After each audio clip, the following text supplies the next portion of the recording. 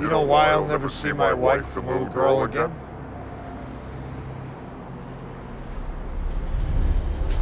Because you took them from me.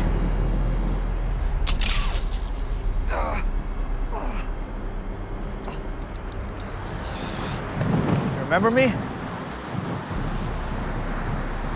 Sure you do. You came over to my house once before. You don't remember?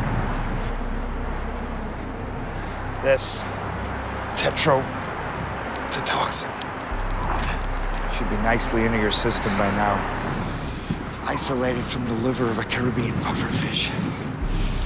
So, it paralyzes you, it leaves all the other neurological functions perfectly intact. In other words, you can't move, but you feel everything.